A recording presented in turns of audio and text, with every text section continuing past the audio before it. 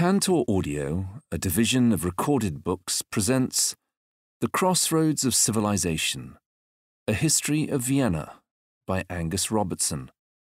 Narrated by Julian Elfer. Introduction This book focuses on Vienna as an international capital, a city that has been a pivot for diplomacy, culture, intellectual thought, music, art, design, and architecture for hundreds of years. Three high profile funerals in the Austrian capital over the three last centuries illustrate the passing of different ages during this period. Charles Joseph, 7th Prince de Ligne, died in December 1814 at the height of the Congress of Vienna, not long after famously saying, The Congress does not move forward, it dances.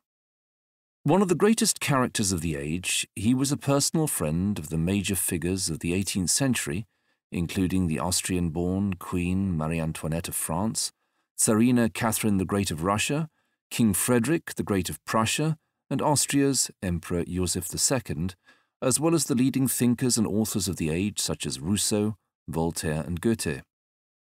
Charles Joseph's funeral on the Kahlenberg Hill overlooking Vienna marked the passing of the Ancien Regime. One century later, the funeral took place of Emperor Francis Joseph I, one of the longest serving sovereigns anywhere, who reigned over Europe's second largest country from the 1848 revolutions to the First World War. In many ways, his funeral in 1916 signaled the end of the Habsburg monarchy, which had ruled for more than 600 years. Within two years, the Austro Hungarian Empire collapsed in defeat and disintegrated into eight successor states. Almost another century later was the funeral of Francis Josef's grandnephew, Otto Habsburg, the last ever heir to the throne.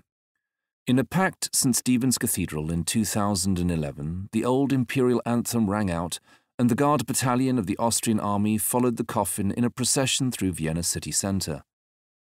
As the successors to the old imperial Trabanten Life Guards, they marched behind its flag, proudly wearing insignia with the black eagle of the Austrian Republic superimposed on the golden eagle of the Habsburg Empire. The timing and symbolism of all three Vienna funerals tell their own story about the preceding centuries, and how this city has played a central role in the events that have marked these ages. Vienna has been at the crossroads of European civilizations, continental trading routes, cultural developments, and power relationships for more than two millennia. This began with the foundation of the Roman outpost of Vindobona, which developed over the centuries into the city we know today as the Austrian capital, especially since it became the city of residence for the up-and-coming Habsburg rulers in 1440. For six centuries, the blossoming of Vienna into a first-order international capital has been associated with the dynasty. Habsburg history is in both the particular and the general sense not national, but European history.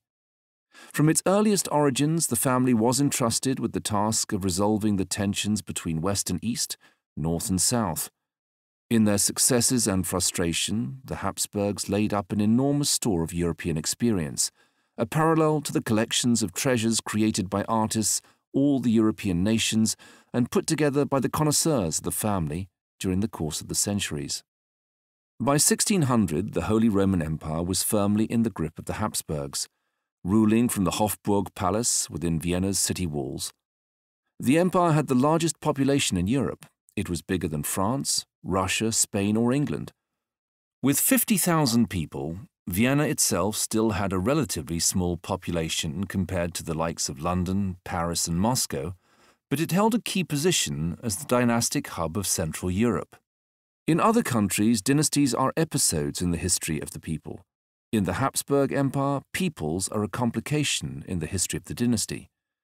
The Habsburg lands acquired in time a common culture and to some extent a common economic character. These were the creation, not the creators, of the dynasty. No other family has endured so long or left so deep a mark upon Europe. The Habsburgs were the greatest dynasty of modern history and the history of Central Europe revolves around them, not the other way round. Vienna was a melting pot of nationalities from across Central Europe and beyond. with visitors struck by its polyglot population and its burgeoning cultural scene, which attracted the finest composers, performers, and artists from near and far. The city was also the Christian bulwark against two Turkish sieges, leading Catholic resistance to the Reformation and opposition to revolutionary and Napoleonic France. Bonaparte's foreign minister Charles Talleyrand stressed to Napoleon why Vienna's regional and international role was of such importance. Your Majesty can now eliminate the Austrian monarchy or re-establish it, but this conglomeration of states must stay together. It is absolutely indispensable for the future well-being of the civilized world. Over the course of 20 years of warfare, Austria provided the most consistent continental opposition against revolutionary and Napoleonic France. Despite numerous defeats across Germany, Bohemia, and Italy, the Habsburg forces continued to fight, handing Napoleon his first personal battlefield defeat at Aspern-Essling on the outskirts of Vienna. In the greatest battle before the First World War, an Allied army under Austrian command took to the field at the Battle of Leipzig. Half a million men from across Europe took part in this battle of the nations, where Napoleon met his real Waterloo. It took the Congress of Vienna to re-establish peace and stability across the continent. During the 19th century, Vienna quadrupled in size to become one of the largest cities in Europe. The city walls were replaced by a wide boulevard around the old town centre, which became home to some of the grandest and finest buildings on the continent. While Austria's political relevance began to be eclipsed by the rising power of Prussia and a unified Germany, it remained one of the great powers. This ended with defeat and collapse in the First World War, a development that was even lamented by foes such as Winston Churchill, who described it as a cardinal tragedy.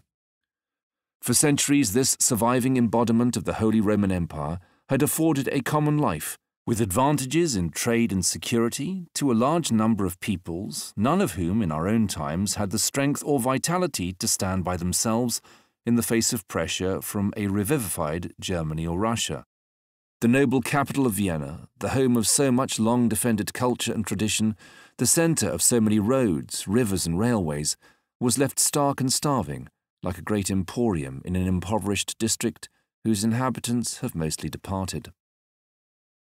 Vienna's woes continued with the impoverishment of the 1920s, the Nazi Anschluss of the 1930s, and the Second World War.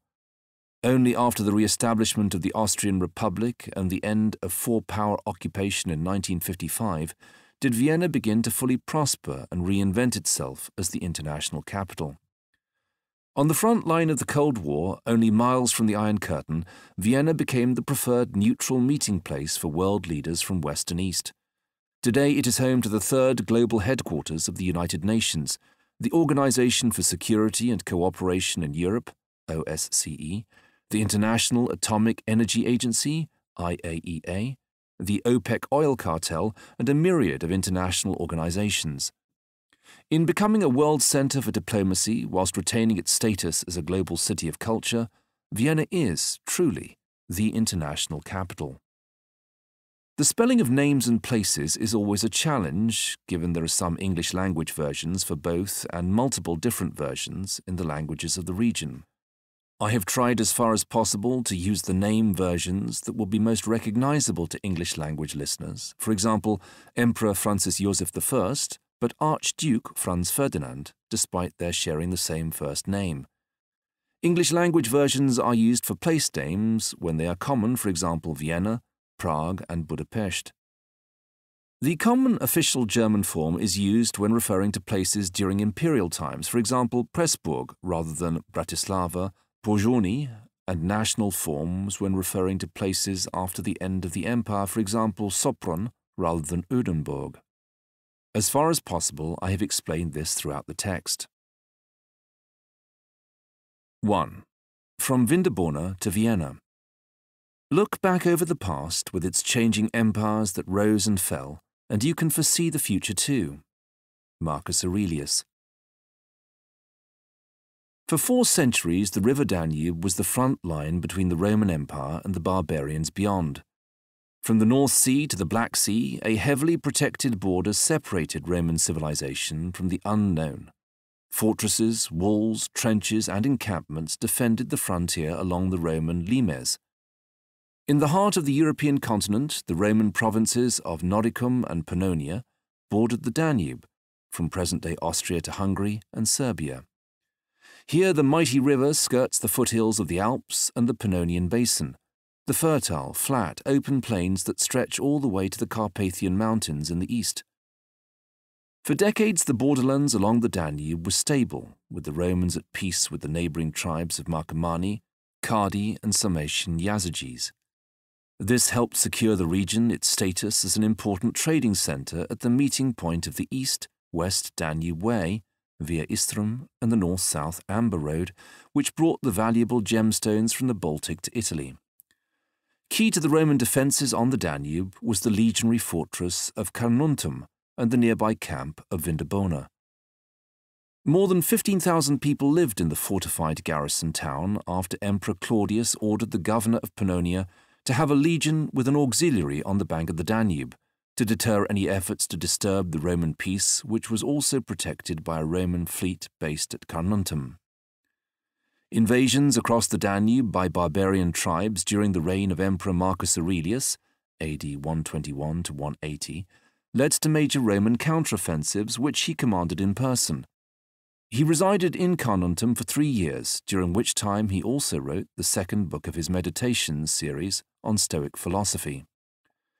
Take care always to remember that you are a man and a Roman, and let every action be done with perfect and unaffected gravity, humanity, freedom, and justice, and be sure you entertain no fancies which may give check to these qualities.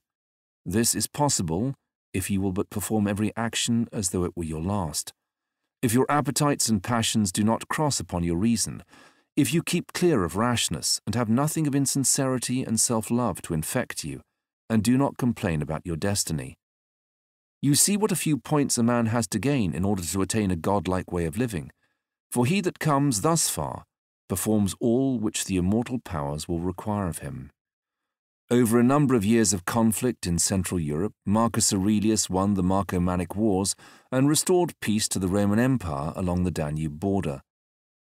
After his death, which marked the end of the Roman peace, Pax Romana, Aurelius was deified and his ashes interred in Rome's mausoleum of Hadrian.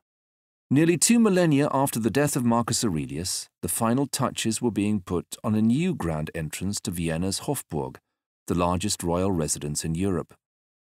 St. Michael's Gate, completed in the 1890s, faces north towards the original Roman camp of Vindobona. Built in the historicist Ringstrasse style, it is a homage to Roman design, style and symbolism, complete with pillars, cupolas, and classical ornamentation.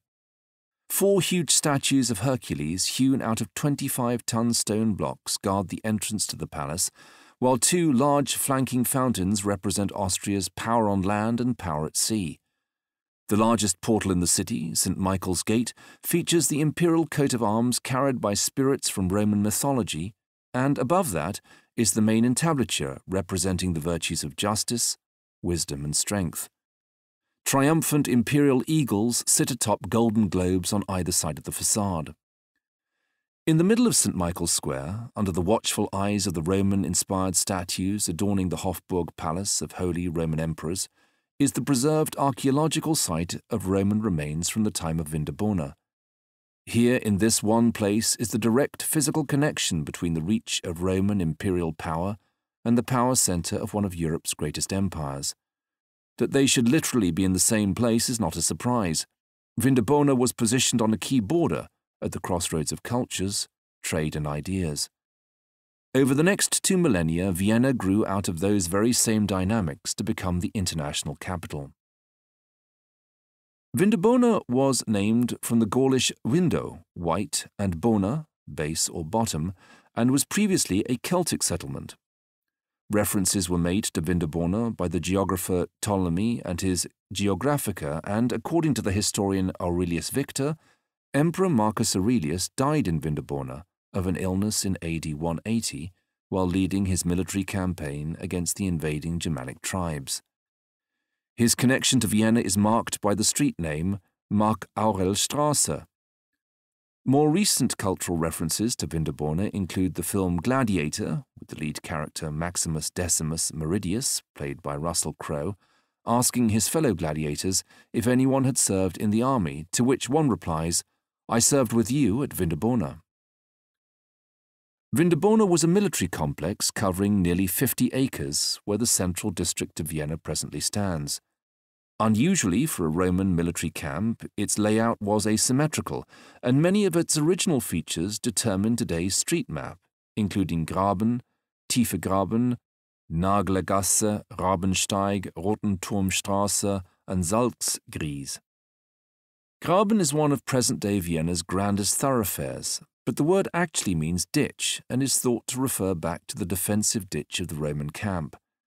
The camp was surrounded by fortifications and towers and contained a command headquarters, houses for senior officers, soldiers' accommodation, workshops, stables, and thermal baths. The fort at Vindobona was established under Emperor Trajan, AD 98 to 117, with building work conducted by the 13th Legion. This was followed by postings for the 14th Gemina Legion of Heavy Infantry and the 10th Gemina Pia Fidelis Domitiana Legion, which became the house regiment at Vindobona until the end of the Roman presence in AD 400. The remains of the Roman camp have been found throughout central Vienna, as well as the excavations on display in St. Michael's Square, parts of a canal system have been unearthed at Am Hof and the remains of whole buildings under the Hohe Markt. An elaborate water supply system piped water to the camp from the Vienna woods nearly 11 miles away. The permanence of Vindobona over an extended period is supported by the discovery of thousands of stamped bricks, monuments, and historic records, which show that a succession of Roman legions and other military units was based there. Wars, administrative and military reforms in the 3rd and 4th centuries, as well as devastating floods, led the population to retreat more and more into the military camp. The area lost its importance as a border region in the 5th century, and the local population lived within the former fortification.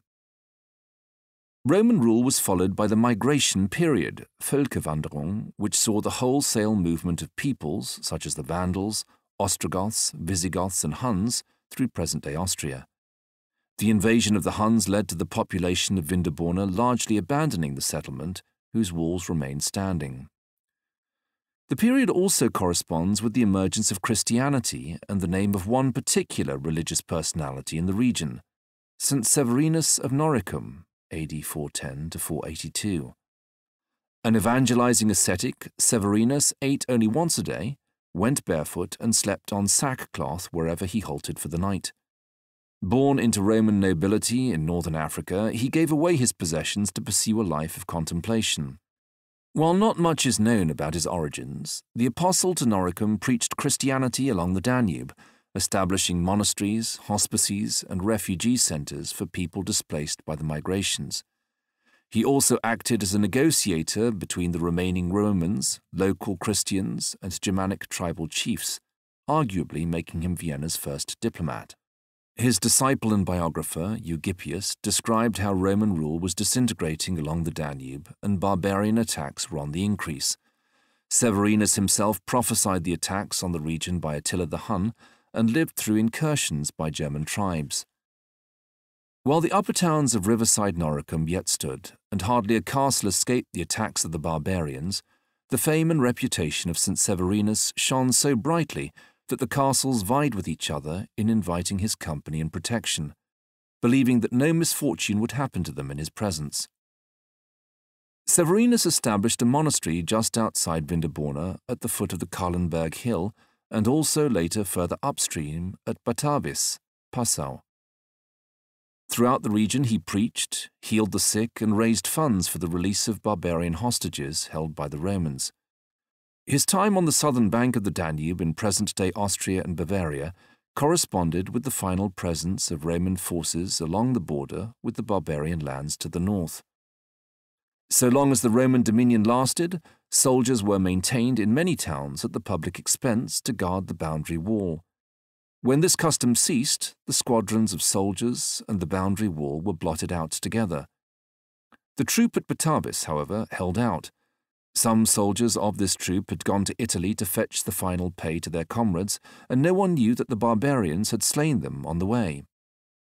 One day, as St. Severinus was reading in his cell, he suddenly closed the book and began to sigh greatly and to weep. He ordered the bystanders to run out with haste to the river, which he declared was in that hour besprinkled with human blood, and straightway word was brought that the bodies of the soldiers mentioned above had been brought to land by the current of the river. During the final decades of the Western Roman Empire in the 5th century, the border regions along the Danube became ever more unstable. Severinus established refugee centres for people displaced by the violence. After the destruction of the towns on the upper course of the Danube, all the people who had obeyed the warnings of St. Severinus removed into the town of Lauriacum, Enns. He warned them with incessant exhortations not to put trust in their own strength, but to apply themselves to prayers and fastings and almsgivings, and to be defended rather by the weapons of the Spirit. After decades of leading a spiritual revival in the Danube borderlands, Severinus foretold the date of his own death and reputedly died while singing Psalm 150. Praise ye the Lord, praise God in his sanctuary. He passed away from pleurisy in Faviani, Mautern, on the Danube to the west of Vienna. Six years after his death in AD 482, the last Romans were ordered to leave Noricum for Italy, where they were resettled. In the centuries that followed, population change continued with the arrival of Lombards from the north, before they moved on to present day Italy, then Pannonian Avars from the east, and Slavs who lived under their rule. The expanding Frankish Carolingian dynasty secured the area around Vienna as border marchland under their Bavarian duchy in the 8th and 9th centuries.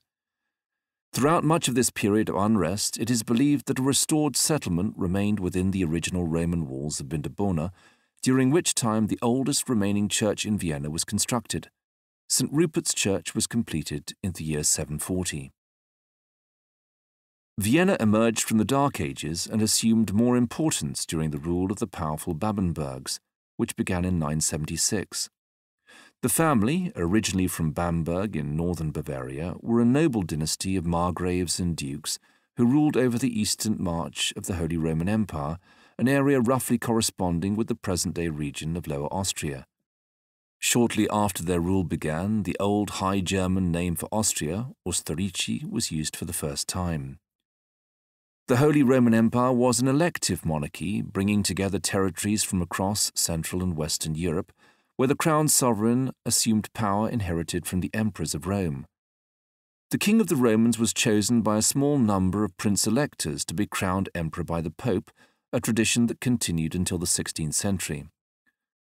The Holy Roman Empire emerged in the 9th and 10th centuries from the coronation of the Frankish king Charlemagne as emperor and continued for a millennium until 1806. At its largest in the 13th century, the Holy Roman Empire contained all of present-day Germany, eastern France, the Low Countries, Switzerland, Austria, Slovenia, and northern Italy. The empire was extremely decentralized, with substantial powers resting in the hundreds of its constituent parts, made up of kingdoms, principalities, duchies, prince-bishoprics, free imperial cities, and lesser units. In Austria, what began as a lowly margraviate became a duchy and imperial state in the middle of the 12th century as Emperor Frederick I Barbarossa, 1122 to 1190, sought to restore order and peace to the Holy Roman Empire. He issued the Privilegium Minus, a deed that elevated the Bavarian frontier march to a duchy with an inheritable fief to the House of Babenberg, a right that unusually for the age allowed for female succession. At about the same time, the Babenbergs made Vienna their capital by relocating from nearby Klosterneuburg. Henry II Jasomirgott 1112 to 1177, moved into a new residence built by the remains of the Roman town wall, an area known to this day as Am Hof, at court. He also laid the foundations for some of the city's best known landmarks with the completion of the first church on the site of the present day St. Stephen's Cathedral in 1147 and the calling of Irish monks to found the Scots Abbey, Schottenstift, and Scots Church, Schottenkirche, where Henry was buried. The naming of the Irish as Scots relates to the use of Latin Scoti for Gaelic speaking Hiberno Scottish missions of monks who spread Christianity across Europe in the Middle Ages from both Ireland and western Scotland. During Henry's time, Vienna was first described as a metropolitan city, civitas metropolita, and hosted its first diplomatic visit with the two week stay of Frederick Barbarossa in 1165. Contemporary reports record the warm reception for the emperor and the abundant supplies of goods in the city, reflecting the fact that Vienna was becoming an important centre of trade, commerce, and culture. The Babenberg court supported the two highest forms of medieval performing arts heroic poetry, such as the Nibelungenlied, and the Minnesang lyrical song tradition. Walther von der Vogelweide, the greatest of the Minnesänger in the Middle High German speaking world, and who features in Wagner's Tannhäuser, was resident at the Babenberg court. Emperor Barbarossa returned again in 1189 at the head of the Third Crusade on its way to the Holy Land. Despite being hosted and catered for by Henry's successor, Duke Leopold V, 1157 to 1194, 500 knights are recorded as having to leave the Crusader army because of their immoral behavior and thefts in Vienna. The Third Crusade was ultimately a failure and was followed by a third, where Duke Leopold played a leading role as commander at the Siege of Acre in 1191. Legend has it that after the battle he took off the belt around his blood soaked tunic, leaving a white horizontal stripe in the middle, which became the Babenberg family colours and formed the red, white-red tri-band flag of present-day Austria. Leopold felt slighted after his victory when King Philip II of France, 1165 to 1223, and King Richard I, the Lionheart of England, 1157 to 1199, arrived and refused him equal rights and removed his ducal flag from over Acre. Richard foolishly returned from the Crusades through Leopold's lands and was captured at Erdberg, just to the east of medieval Vienna. Despite being in disguise, Richard was identified by his signet ring, arrested and then imprisoned in Dürnstein Castle, overlooking the Danube west of Vienna. Detaining a fellow crusader was a serious offence and led to Leopold being excommunicated by the Pope. Richard was released only after the payment of a king's ransom of 23 tons of silver, an astronomical sum equating to more than three times the annual income of England at the time. Leopold split the ransom with Holy Roman Emperor Henry VI and used his share to transform Vienna by filling in the old Roman defensive ditches along the Graben and building the city walls that stood until the 19th century. In addition to consolidating their rule over Vienna and surrounding lands, the Babenbergs began to widen their territory with the acquisition in 1192 of the Duchy of Styria, which lies in present-day southeastern Austria and northern Slovenia. The next century saw the end of the Babenberg line, an interregnum and the ascendancy of the House of Habsburg, which would rule from Vienna for more than 600 years. The male line of the Babenbergs ended with Duke Frederick II the Quarrelsome, 1211 to 1246, who is best remembered for his disputes with the Holy Roman Emperor and the kings of neighbouring Bohemia and Hungary. He was killed in battle with the Hungarians in 1246 without any male heirs. During a nearly 30-year interregnum, King Ottokar II Przemysl of Bohemia, 1233 to 1278, was installed as Duke of Austria and subsequently as Duke of Styria, Duke of Carinthia, and Margrave of Carniola. He married Frederick II's sister, Margaret of Babenberg, who was 30 years his senior, to legitimize his rule. While Prague was the power center during his rule, Ottokar was regularly in Vienna and continued major Babenberg building projects, including St. Stephen's Cathedral and the expansion of what became the Hofburg Palace. While Ottokar was consolidating his rule, a poor Swabian count with estates in Switzerland and southwestern Germany was well placed for great things during the Holy Roman Empire's Great Interregnum, which ushered in centuries of Habsburg rule with Vienna at its heart. Rudolf, Count of Habsburg, 1218 to 1291, was the first in a long line of his family to come to prominence in the Holy Roman Empire when he was surprisingly elected as Roman German king in 1273 and crowned in Aachen Cathedral.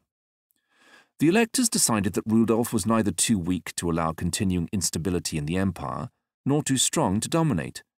However, his ambition was so striking that it led to a senior churchman to warn, Sit fast, Lord God, Rudolf will occupy thy throne.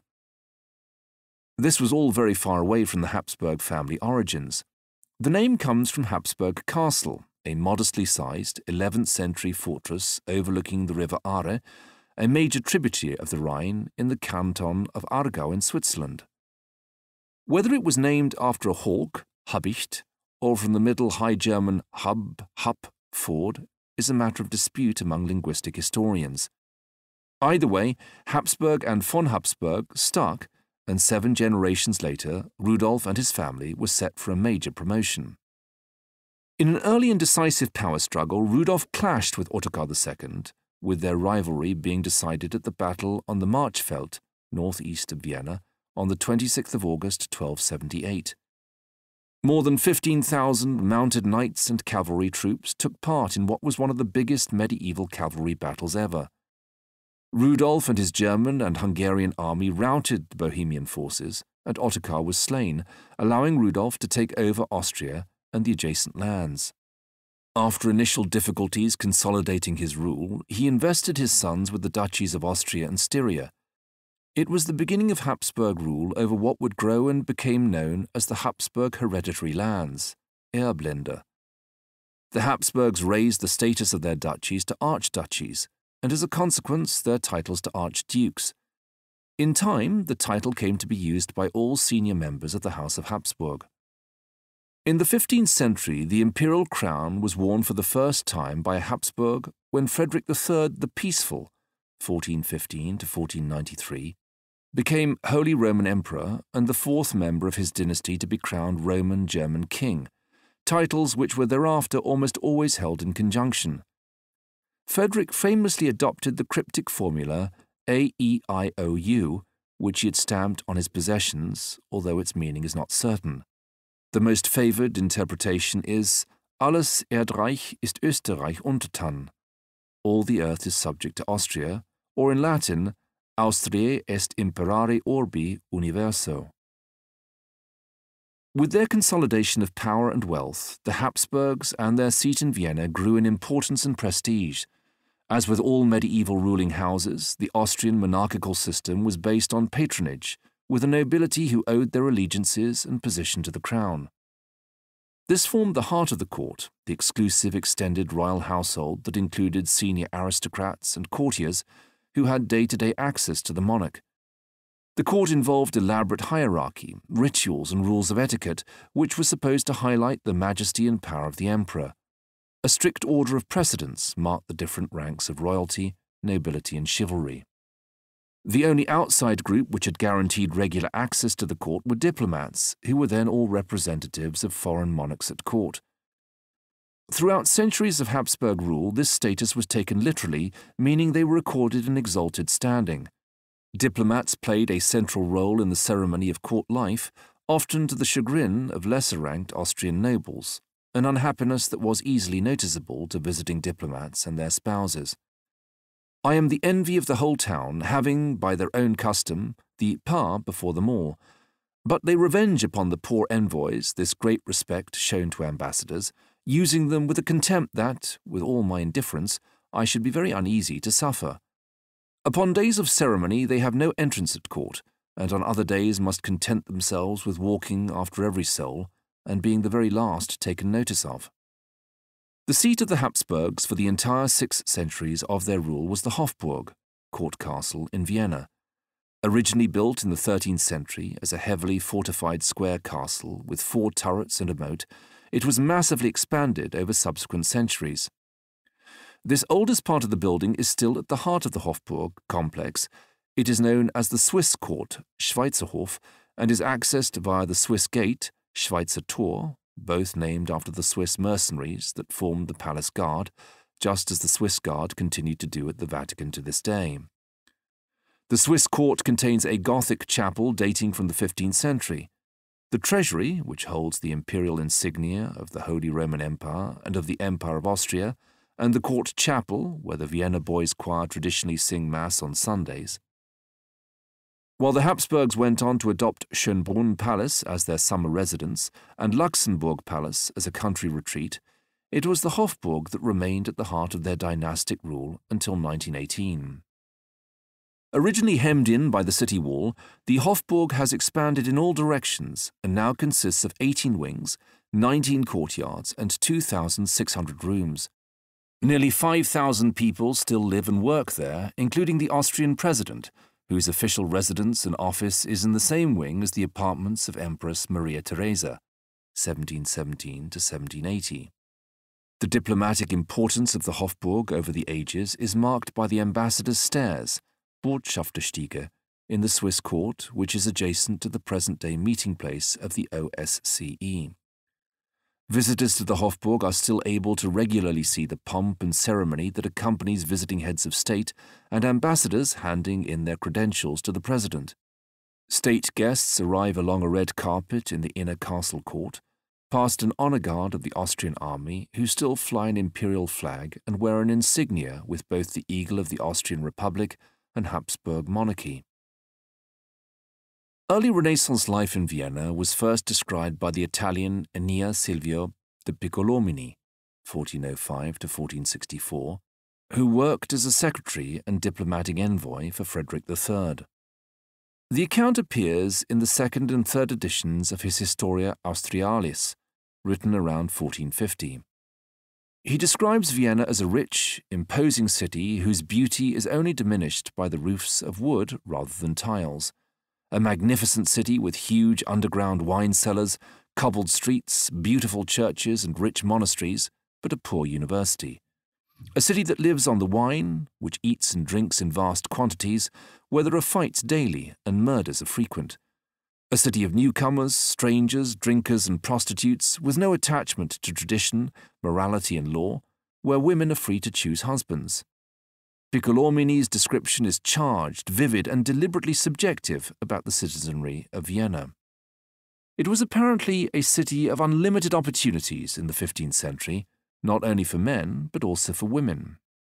Vienna has important suburbs, which in turn are surrounded by wide ditches and ramparts, but even the city itself has a mighty ditch, and before that a very high wall. Behind the ditch come the thick and high walls with numerous towers and outworks, as they are suitable for the defence. The houses of the citizens are spacious and richly ornamented, but strong and solid in their layout. Everywhere you will find vaulted gate entrances and wide courtyards, and heated rooms which are called parlours by them, because only in this way can you manage winter severity. Windows and glass let in the light from all sides. The gates are mostly made of iron. There are many songbirds, and horses and livestock of all kinds have spacious stables. The high front of the houses gives a magnificent sight. Piccolomini, who went on to become Pope Pius II from 1458 until 1464, was struck by the importance of religion in Vienna. The city has numerous churches with many reliquaries and other treasures, while the clerics have well remunerated sinecures. The city is in the Diocese of Passau, although the daughter church is bigger than the mother church. Many houses have their own chapels and priests. The city has a university for the liberal arts, for theology, and for church law. The population of the town has 50,000 communicants. The humanist, historian, and prolific author detailed day to day life in the city, conjuring images redolent of Bruegel, paintings a century later. It is hard to believe how much food is being made into the city every day. Carts are loaded full with eggs and crabs. Flour, bread, meat, fish, and poultry are supplied in huge quantities. And yet, as soon as the evening breaks, you cannot buy any of these things. Not a day goes by when not 300 wagons loaded with wine arrive twice or three times. Even the seedier underbelly of Vienna was detailed by Piccolomini. In such a large and important city, however many irregularities happen, with fights by day and night, even at formal meetings, rarely does a festivity go by without a homicide, and murders are often committed. The common people indulge their bellies, are greedy, a ragged, clumsy pack. Whores are in great numbers. Seldom is a woman content with a man. Most girls choose their husbands without prior knowledge of their fathers. Widows marry as they please during the mourning period. Few people live in the city whose forefathers know the neighborhood. Old families are rare, they are almost all immigrants or foreigners. Vienna's emerging economic and political importance in the 15th and 16th centuries was matched by the growing power of its Habsburg rulers and their desire to increase their international relevance and reach. This was especially true under the rule of Maximilian I, 1459 to 1519, who developed the Habsburg tradition of wedding diplomacy, including his son Philip's marriage to Joanna of Castile in 1498, setting in train the Spanish Habsburg dynasty.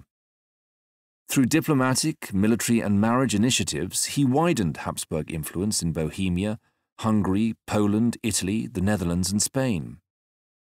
This involved the use of dedicated Habsburg diplomats like Johannes Spiesheimer, Cuspinian, 1473 to 1529 in Hungary, Bohemia, and Poland, and Siegmund von Herberstein, 1486 to 1566 in Russia and the Jagiellonian kingdoms. Their diplomatic missions continued under the rule of Ferdinand I, 1503 to 1564, Archduke of Austria from 1521, which was a particularly fraught period in the region due to the growing threat from the Ottoman Turks. At the start of the 16th century, the Ottoman Empire included much of southeastern Europe and was going through a period of expansion. This coincided with turmoil in Hungary, where the young monarch, Louis II, 1506 to 1526, King of Hungary, Bohemia, and Croatia, was at the mercy of powerful magnates. His finances were in a precarious position, and national defences were weakened by underinvestment and disrepair. This was understood by the new Ottoman Sultan Suleiman the Magnificent, 1494 to 1566, who soon faced an incredibly foolish challenge by the inexperienced King Louis. On his accession to the Ottoman throne, Suleiman sent an ambassador to Hungary to collect the annual tribute the Hungarians were supposed to pay. Louis II chose to have the ambassador beheaded and returned the head to the Sultan. It was an invitation to invasion and a calamitous miscalculation. In 1521, the Ottomans declared war on Hungary and soon captured Belgrade as well as southern and central regions of Hungary before the crushing victory over the Magyars in the Battle of Mohacs in 1526. In one of the most fateful battles in the history of Central Europe, the Hungarians were routed in a pincer movement and, in retreat, Louis II fell off his horse, crossing a stream in full armour, and drowned. He had no legitimate heir. As a consequence, Hungary was divided between the Ottomans, the Habsburgs, and the Principality of Transylvania. With the support of Hungarian nobles, Ferdinand of Austria assumed the crown of St. Stephen from his brother-in-law Louis II, and the territories of Bohemia unoccupied Western Hungary, or Royal Hungary as it became known, and the Kingdom of Croatia in 1526. Meanwhile, the Ottomans supported the rival Transylvanian pretender, John Zapolya. Conflict continued unabated with the end of the Ottoman-Hungarian Wars leading to the Ottoman-Habsburg Wars and the First Siege of Vienna in 1529. Whether the siege was aimed at consolidating Ottoman control over the whole of Hungary or was the prequel to further westward expansion is still debated to this day. What is beyond doubt is that Suleiman was serious in his intent to capture Vienna, with an army mustered in Ottoman Bulgaria between 120,000 and 300,000 strong. Unusually inclement weather caused significant problems for the large army, in particular its large siege cannons, which became bogged down in the sodden conditions during the march towards Vienna. Camels from the east of the Ottoman Empire, not used to cold and rainy conditions, died in large numbers. Casualties through ill health and sickness became a major problem amongst the Sultan's Janissary forces. Having prior notice of the Ottoman advance, the Vienna city defences were strengthened in anticipation of a siege, which began at the end of September 1529. With the city walls holding firm, the Ottomans sought to tunnel beneath them and explode mines. The defenders, who included effective German Landsknecht mercenaries, launched attacks on the tunnelling efforts and came close to capturing Ottoman military commander Ibrahim Pasha.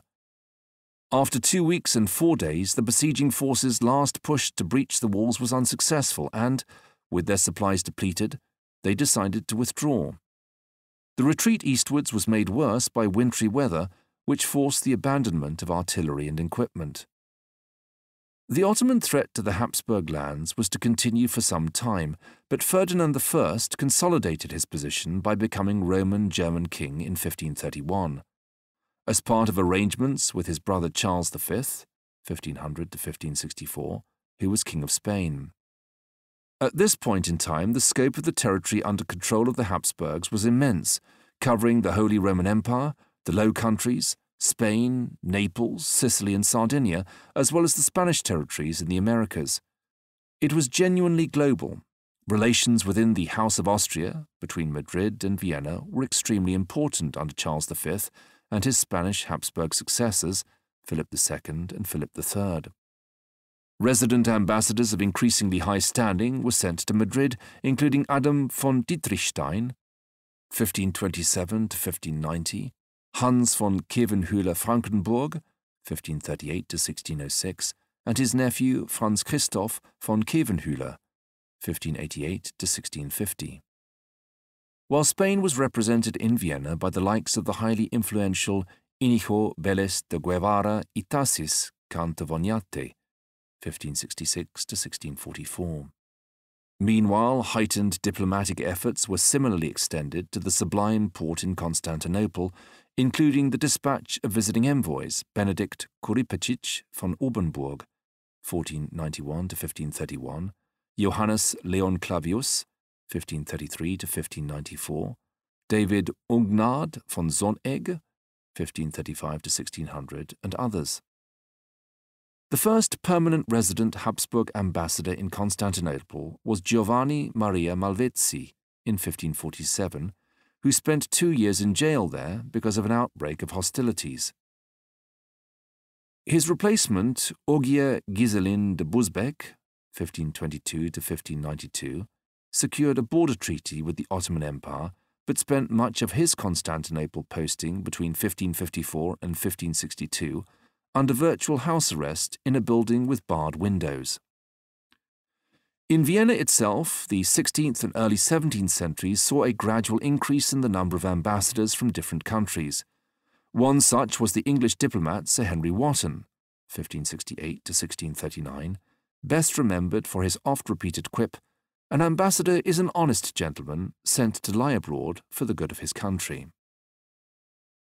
While the Habsburgs were busy securing their realms from mounting external challenges from the Ottoman Empire, they faced a massive internal challenge at the same time from the Reformation.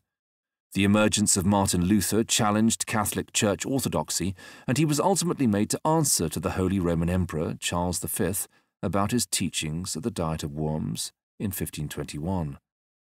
Although the Diet declared Luther a heretic and outlawed his teachings, the Reformation washed across Europe including the Habsburg lands and Holy Roman Empire, where a growing number of princes and other rulers adopted the Protestant faith. While under Ottoman pressure from the east, Ferdinand of Austria agreed to the Nuremberg religious peace in 1532, granting interim religious liberties.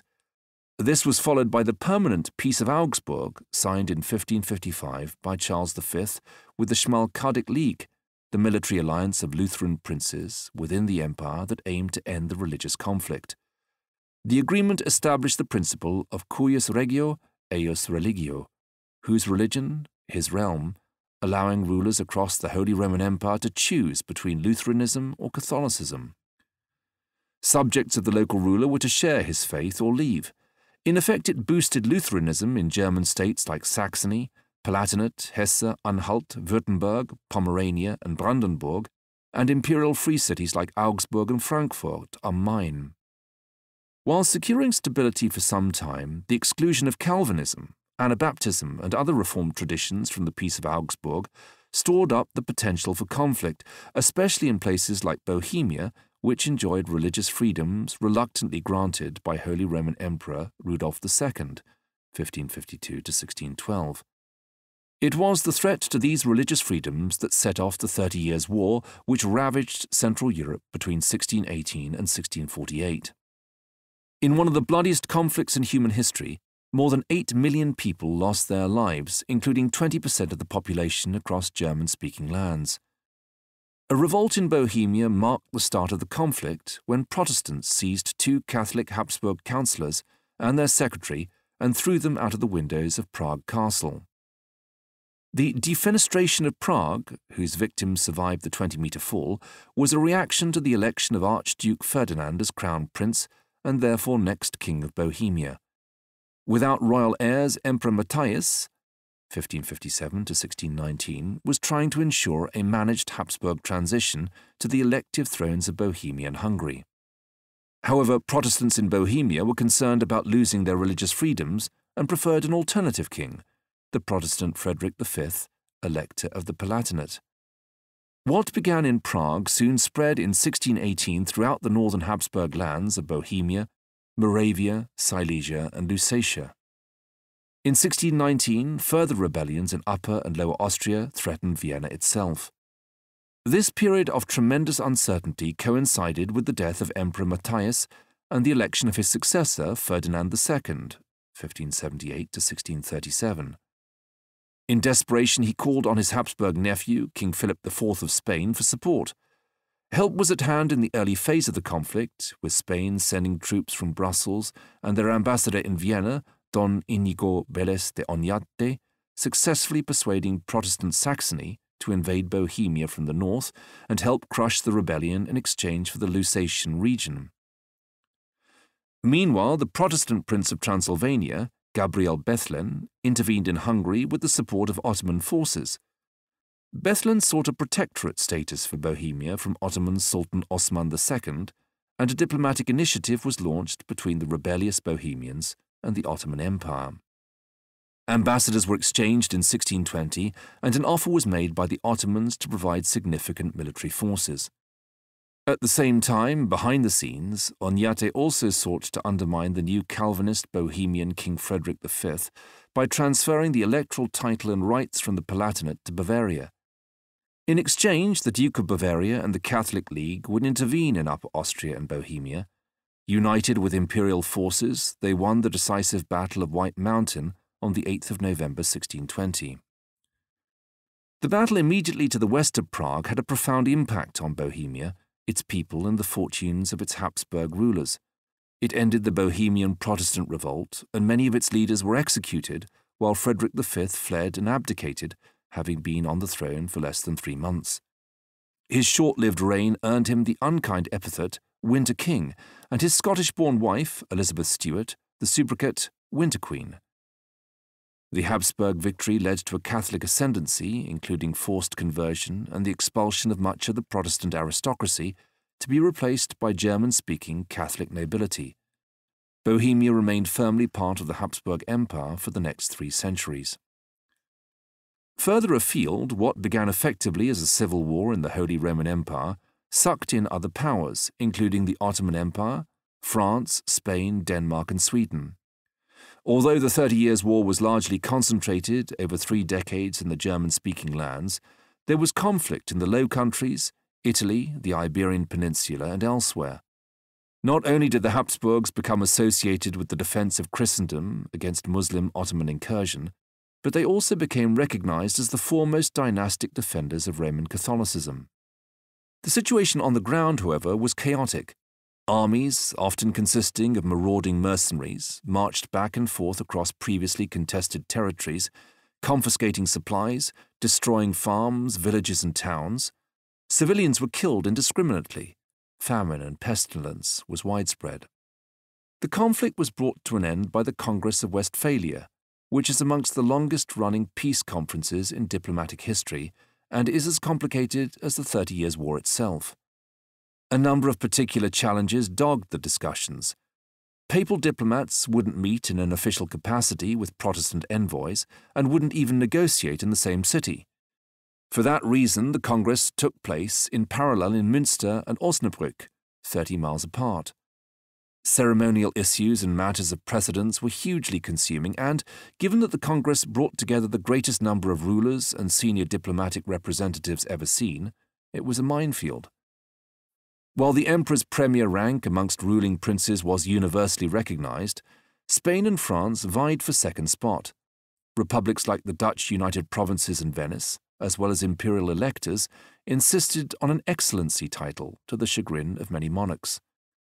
Titles and relative standing mattered particularly at ceremonial events and when anything was committed to paper, especially sensitive matters of dispute.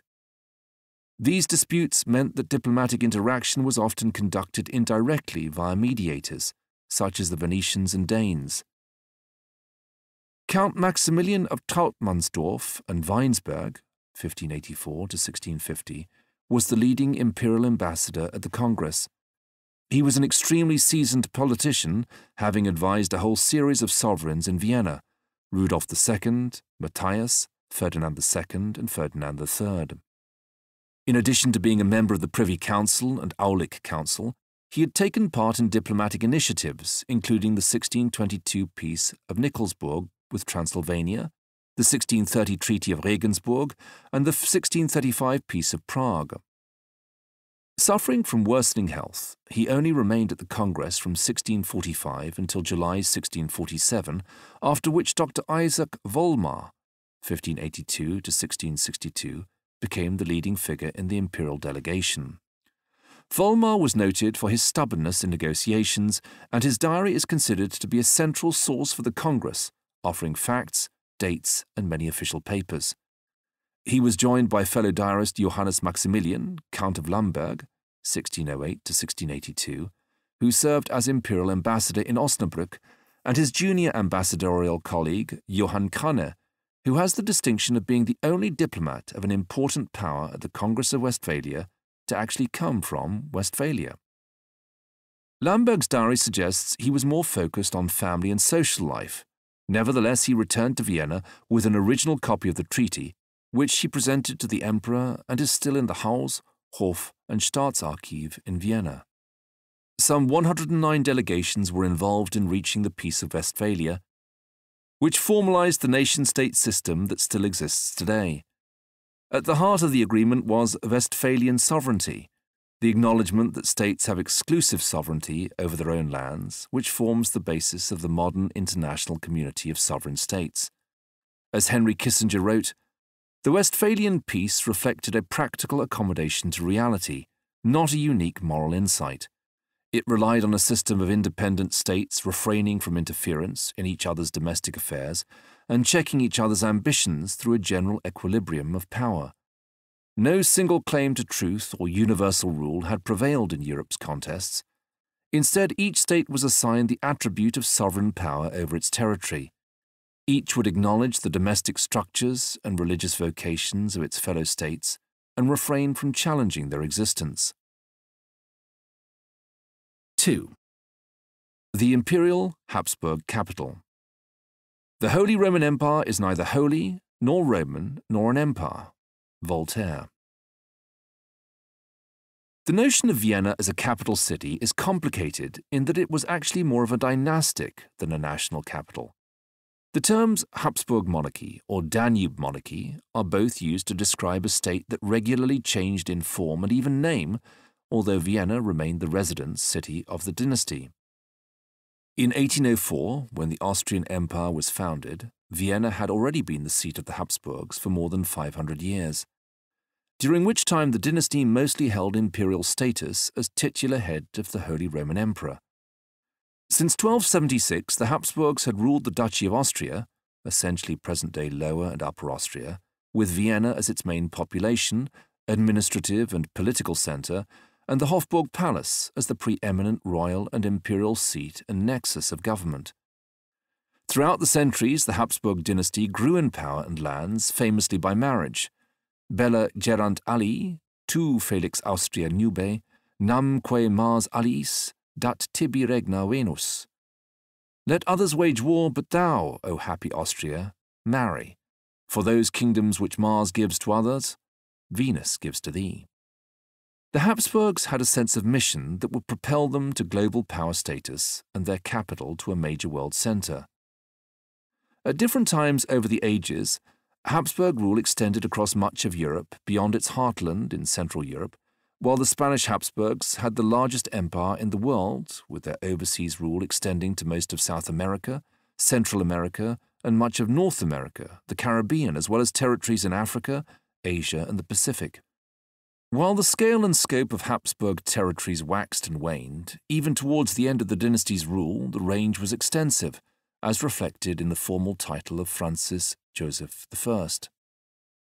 His Imperial and Apostolic Majesty Francis Joseph I, by the grace of God, Emperor of Austria, King of Hungary and Bohemia, King of Lombardy and Venice, of Dalmatia, Croatia, Slavonia, Lodomeria and Illyria, King of Jerusalem, etc., Archduke of Austria, Grand Duke of Tuscany and Krakow, Duke of Lorraine, of Salzburg, Styria, Carinthia, Carniola, and of the Bukovina, Grand Prince of Transylvania, Margrave of Moravia, Duke of Upper and Lower Silesia, of Modena, Parma, Piacenza, and Guastalla, of Auschwitz, Oswiecim, and Zator, of Teschen, Cieszyn, Teschin, Friuli, Ragusa, Dubrovnik, and Zara, Zadar, princely Count of Habsburg and Tyrol, of Kyburg, Gorizia, and Gradiska, Prince of Trent, Trento, Brixen, Bressanone, Margrave of Upper and Lower Lusatia, and in Istria, Count of Hohenems, Feldkirch, Bregenz, Sonnenberg, etc., Lord of Trieste, of Cattaro, Kotor, and in the Wendish Mark, Grand Voivode of the Voivodina of Serbia, etc., etc. As well as ruling over their hereditary lands, the Habsburgs were repeatedly elected as emperors of the Holy Roman Empire, an important and complex construct bringing together much of continental Europe under one imperial crown. Between the 9th century and its demise in 1806, the empire included present-day Germany, the Low Countries, Switzerland, Czech Republic, Austria, Slovenia, eastern France, and much of Italy. While power was dissipated amongst its electors, who decided whom the emperor should be, it was also shared by literally hundreds of rulers in its patchwork of various kingdoms, principalities, archduchies, duchies, earldoms, baronies, lordships, landgraviates, margraviates, archbishoprics, bishoprics, abbacies, bailiwicks, counties, cantons, imperial free cities, and other realms. It was complicated, to say the least. Despite the complexity, the Habsburgs managed to secure the imperial crown almost continuously between 1438 and 1806, by fair means or foul. While the Holy Roman Empire didn't have a formal capital city, it did have an imperial seat of residence, and while a Habsburg wore the imperial crown, that was mostly Vienna. Diplomacy throughout this period was very far from what we now understand international diplomatic relations to be. Despite the difficulties of getting about, the emperor and his retinue would travel as an itinerant ruler with lavish progress ceremonies from one venue to the next, though not often in Italy.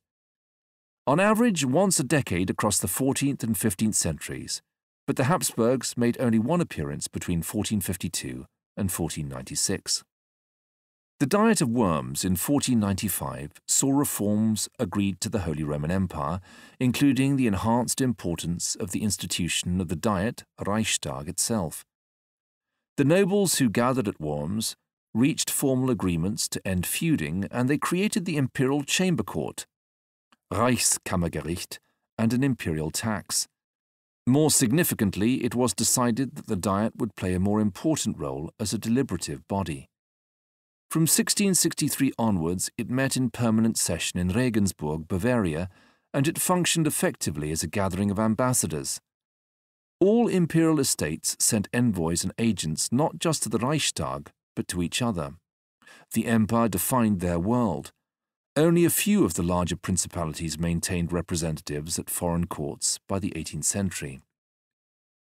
From the earliest records, it is clear that Vienna was a key diplomatic capital, hosting representatives from across the Holy Roman Empire and further afield. In the earliest published annual state handbook, nearly 200 states and territories are represented by diplomats of different ranks, such as papal nuncio, ambassador, envoy, resident, delegate, representative, and agent. Foreign nations represented included Venice, Holland, England, Denmark, and Sweden, while the rest were largely from throughout the empire. Smaller territories were often represented by a shared agent. After the demise of the Holy Roman Empire in 1806, Vienna was officially designated as the capital of the Austrian Empire and city of imperial residence. K.K. Haupt- und Residenzstadt. There were foreign missions and embassies from Denmark, France, Great Britain, Portugal, Russia, Sicily, Spain, Sweden, Turkey, and the Vatican. German representation included Bavaria, Hanover, Hessen-Kassel, Hessen-Darmstadt, Prussia, Saxony, Saxony-Gotha, and Württemberg. While the Holy Roman Empire cannot be thought of as a particularly bureaucratic or centralized organization, its administrative and legal capacity did evolve over the centuries. The Diet acted more as a negotiating body than a legislative assembly. From 1489, its members were the imperial estates and were divided into three chambers the College of Prince Electors, Kurfürstenkollegium, the College of Imperial Princes, Reichsfürstenrat, and the College of Imperial Cities, Reichsstädtekollegium. Most important among the imperial estates were the prince electors, who formed the electoral college that elected the emperor. Three of the electors were ecclesiastical, the archbishops of Mainz, Trier, and Cologne, and four were secular, the King of Bohemia, the Count Palatine of the Rhine, the Duke of Saxony, and the Margrave of Brandenburg, to which were later added the Elector of Bavaria and the Elector of Hanover. Prior to 1663, the Diet convened in 34 different cities before meeting permanently thereafter in Regensburg. The Imperial Chamber Court was first based in Frankfurt, then a series of other German towns, before being finally sited in Wetzlar, Hesse. One of the two senior judicial institutions in the Holy Roman Empire, it could hear cases brought from across the empire. Vienna became an important administrative centre for the empire with the establishment of the Aulic Council, Reichshofrat, in the city by Maximilian I in 1496. It was the second of the empire's senior judicial institutions and is often seen as having been in competition with the imperial chamber court.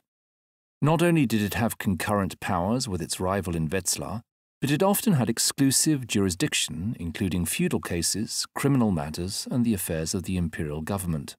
From 1559 onwards, the imperial court chancellery, Reichshofkanzlei, became the key administrative body of the empire.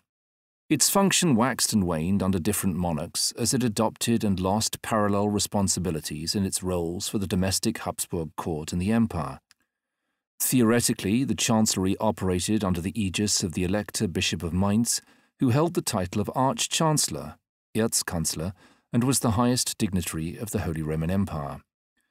In practical terms, the daily leadership duties in the Chancellery were exercised by the Imperial Vice-Chancellor in Vienna. The title is the origin of the modern-day Chancellor title used by the heads of government in both Austria and Germany. The administrative functions of the Imperial Court Chancellery were conducted by a staff of fewer than 30 people.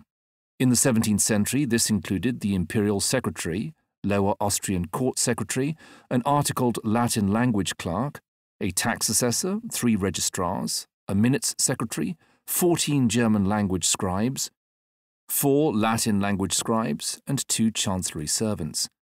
Over time, staffing levels increased, and by the beginning of the 18th century, the two story chancery wing of the Hofburg was deemed too limited, and plans were drawn up to build a new, taller, bigger, and grander home for the Imperial Court chancery, which also included apartments for the Arch Chancellor and the most senior Habsburg courtier, the Lord Chamberlain, Oberst Hofmeister, and his officers.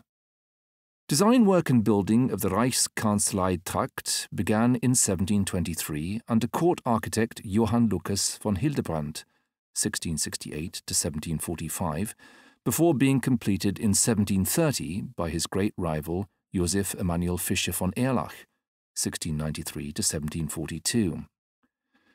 Erlach demolished the wing's new facade, only just completed by von Hildebrandt, and replaced it with a new frontage.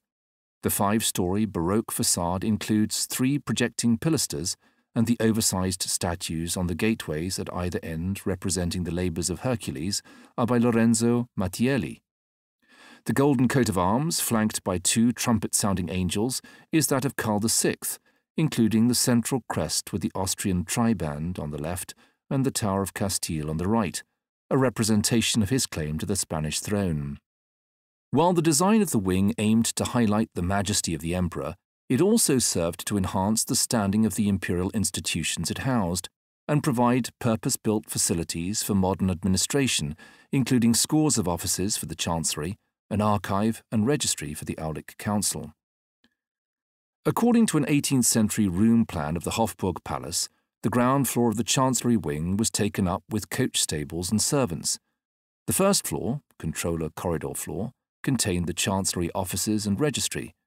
The second floor, main floor, was the residence of the Imperial Vice Chancellor, with connecting corridors to the state rooms of the Emperor on the other side of the palace. The third floor had a further allocation of rooms for the Imperial Vice Chancellor, the fourth floor comprised individual accommodation for female members of the imperial household. The Holy Roman Empire was a feudal system demanding personal loyalty to superiors all the way up to the emperor. This social and economic hierarchy had emerged in late antiquity and determined relative powers and legal rights. From the emperor down, there was a mutual bargain, from the liege lord to shelter and protect, and for the vassal to assist and advise. As the most senior liege lord, the emperor granted fiefs, heritable property, rights and titles in return for personal loyalty, financial support, and military service. In turn, crown vassal kings, dukes, and other overlords dispensed feudal rights over their vassals, all the way down the ranks of nobility to the great mass of the rural population, who were often impoverished and indentured with precious few rights. Symbolism and rituals were at the heart of medieval power relationships, and feudal vassals were expected to take part in an act of submissive homage and declare an oath of fealty at a commendation ceremony to their feudal masters. In a symbolic act, the vassal would kneel in front of his overlord, placing his clasped hands between the hands of his feudal superior, followed by an oath of fealty on the Bible or a Christian relic.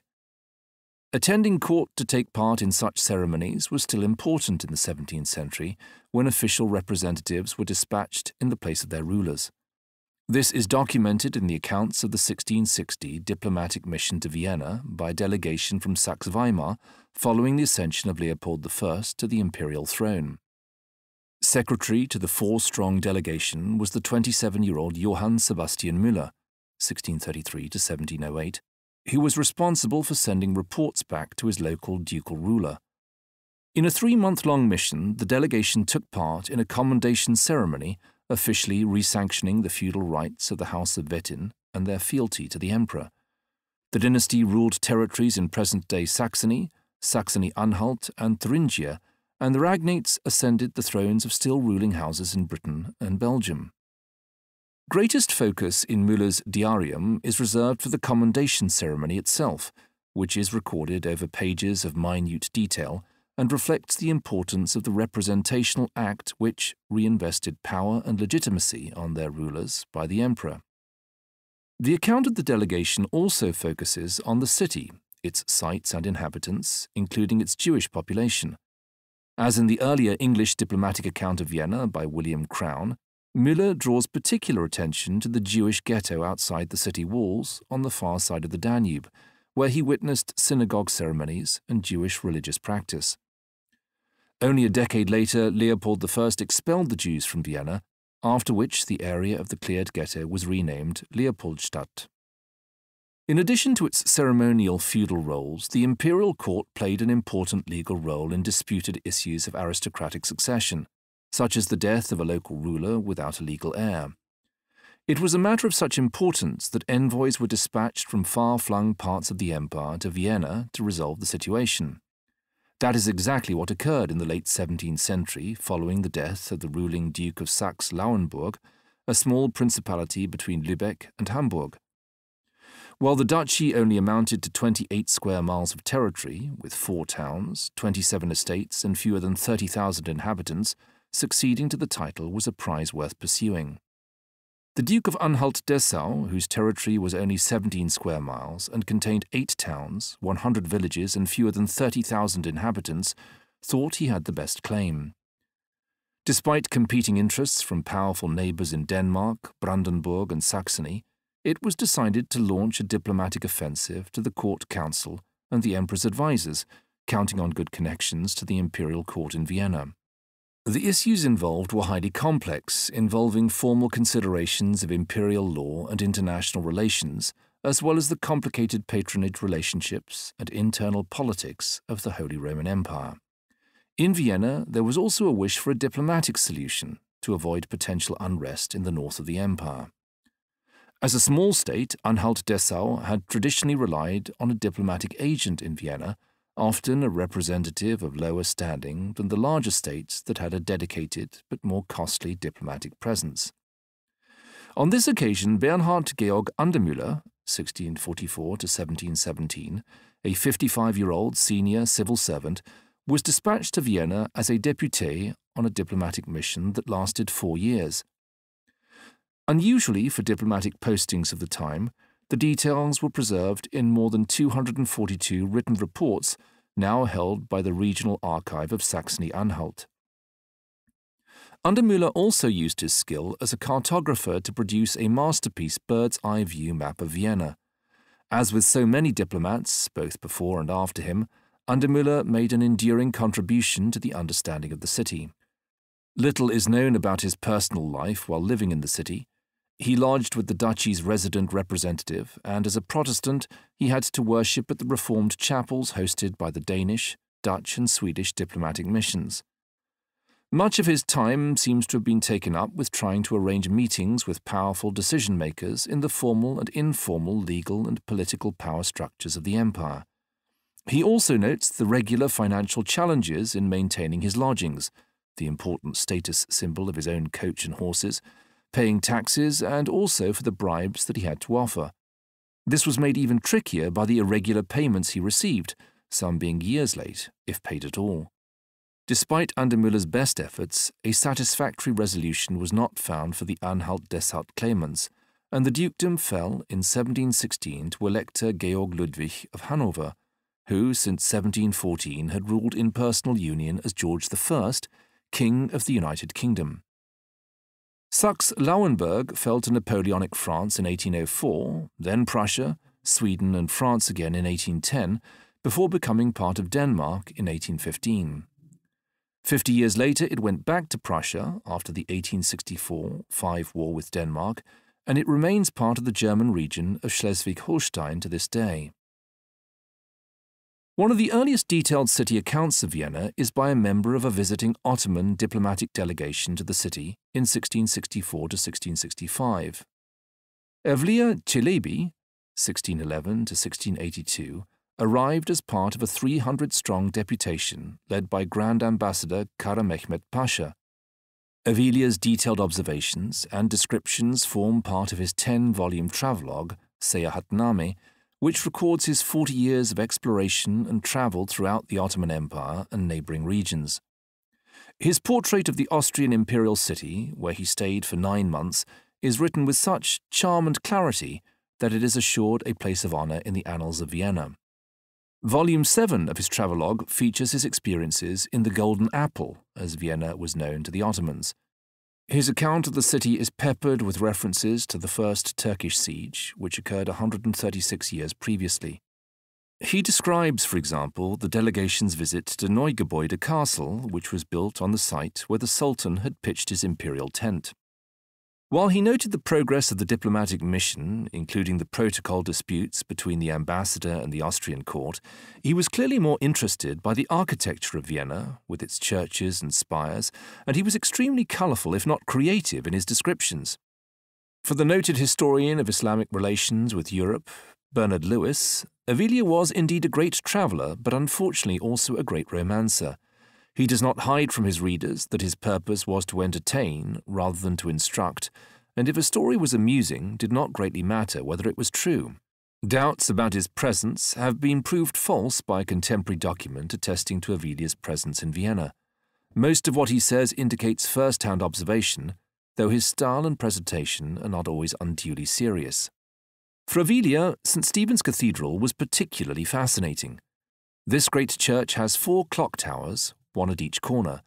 Three of them are small, but the lofty tower next to this door on the right side are without compare in the inhabited quarter.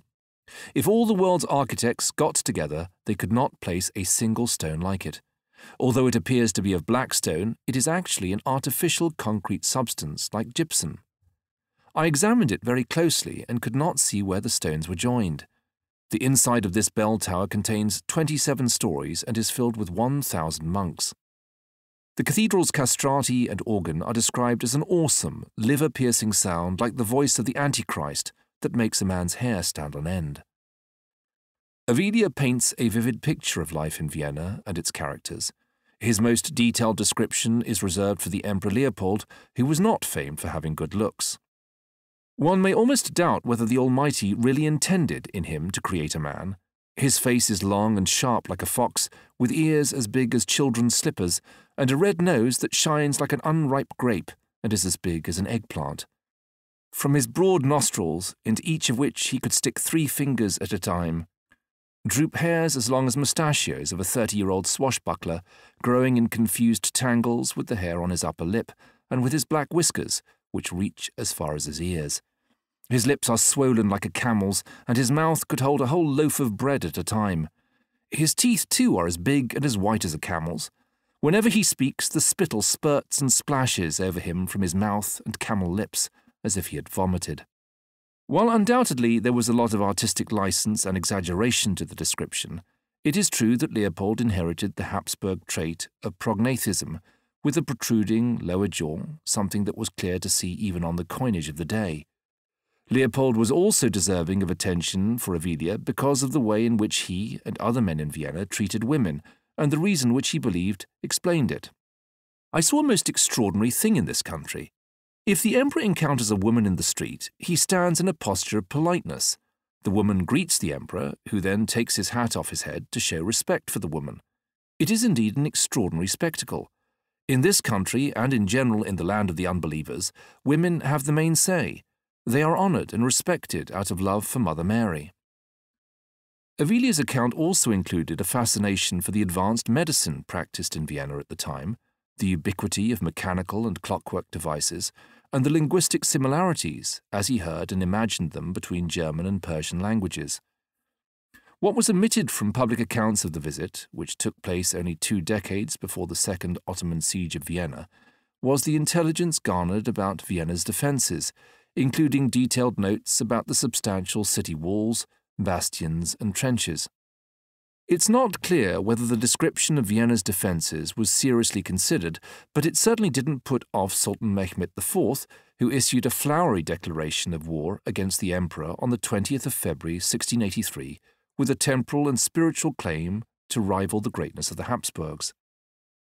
Muhammad, son of emperors, son to the famous and glorious God, Emperor of the Turks, King of Grecia, Macedonia, Samaria, and the Holy Land, King of the Great and Lesser Egypt, King of all the inhabitants of the earth and of the earthly paradise, obedient Prince and Son of Mahomet, Preserver of the towns of Hungary, Possessor of the sepulchre of your God, Lord of all the emperors of the world, from the rising of the sun to the going down thereof, King of kings, Lord of the tree of life, Conqueror of Melongen, Italy, and the city of Prolenix, great pursuer of the Christians, joy of the flourishing world, commander and guardian of the crucified God, lord of the multitude of heathens.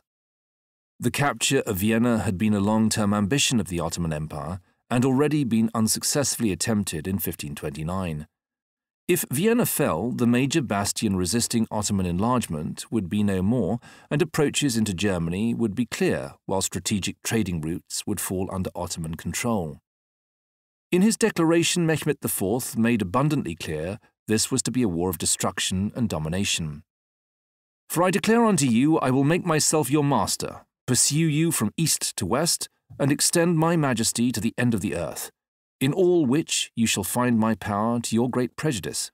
I assure you that you shall feel the weight of my power, and for that you have put your hope and expectation in the strength some towns and castles, I have given command to overthrow them, and to trample under feet with either my horses all that is acceptable and pleasant in your eyes, leaving nothing head after by which you shall make friendship with me, or any fortified places to put your trust in. For I have resolved without retarding of time to ruin both you and your people, and take the German Empire according to my pleasure, and to leave in the Empire a commemoration of my dreadful sword, that it may appear to all. It will be a pleasure to me, to give a public establishment of my religion, and to pursue your crucified God, whose wrath I fear not, nor his coming to your assistance, to deliver you out of my hands? I will, according to my pleasure, put your sacred priests to the plough, and expose the breasts of your matrons to be sucked by dogs and other beasts. You will therefore do well to forsake your religion, or else I will give order to consume you with fire. This is enough said unto you, and to give you to understand what I have, in case you have a mind to know it. With a 15 month gap between the mobilization of a mammoth Ottoman army and the invasion of Habsburg territory, the time was well used in Vienna to rally allies and pledges of support. Leopold I reached an agreement with King John III Sobieski of Poland to come to the aid of one another if attacked. Meanwhile, an appeal was made throughout the Holy Roman Empire for military assistance, and Pope Innocent XI called on Christian princes to rally to the defence of Vienna. The pontiff later played a key role in forming the Holy League to resist the threat from the Ottomans, bringing together the Papal States, the Holy Roman Empire, the Polish Lithuanian Commonwealth, and the Venetian Republic. The siege of Vienna began on the 14th of July 1683 when more than 150,000 Turkish troops took up position around the city walls. Leopold I and tens of thousands of Viennese fled the city prior to the start of the siege, leaving 15,000 troops, 9,000 volunteer defenders, and nearly 400 cannons commanded by Count Ernst Rüdiger von Starhemberg. Having reinforced older parts of the city defences and cleared the open glacis area around the walls, there were no sheltered positions for the Turks to attack from. This delayed their assault on the city and forced them to construct an elaborate network of trenches and tunnels, especially near the southern sector of the wall by the Hofburg Palace. Meanwhile, a relief army under Sobieski approached on the northern side of the Danube before crossing near Tulln to rendezvous with imperial troops and special contingents deployed from elsewhere in Germany, creating an army of 80,000. The coalition forces advanced downhill from the strategic heights of the Kahlenberg overlooking the city. With the Turks already being forced back, Sobieski ordered the largest cavalry charge in history, with 18,000 mounted troops, including 3,000 Polish winged. We hope you enjoyed this preview. To continue listening to this audiobook on Google Play Books, use the link in the video description.